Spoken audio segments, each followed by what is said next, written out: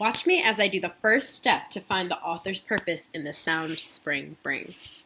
When I'm trying to tell what the author's purpose is, I need to know why the author wrote the text. So the first step is to tell what type of text it is.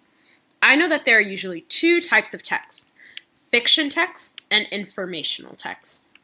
Fiction texts are usually fun, made up stories with characters and informational texts are usually ones that teach me about something. So they don't have any stories or characters, but they have a lot of information in it. So this text I know doesn't have a ton of characters um, and there's no story here. I do see some animals in the picture over here, but there's no story about baby chicks or anything like that.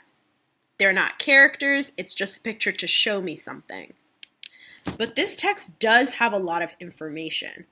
This text teaches me information like how baby birds hatch in the spring. It tells me about what the wind sounds like.